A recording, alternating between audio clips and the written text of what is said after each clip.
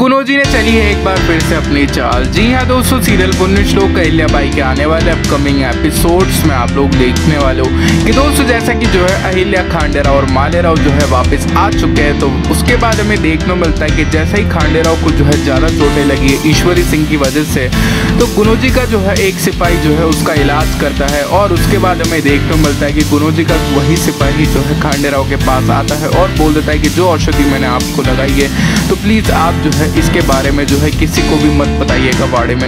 ये औषधि जो है मेरे साथ ही जो है पंच तत्वों में लीन हो जाएगी। और दूसरी तरफ़ जो है हमें देखने को मिल रहा है कि गुरुजी जो है बहुत ही खुश है क्योंकि उसका जो है ये योजना जो है वो कामयाब होने जा रही है। तो दोस्तों, अभी के लिए बस में वीडियो पसंद कीजिएगा एंड थैंक्स फॉर वॉचिंग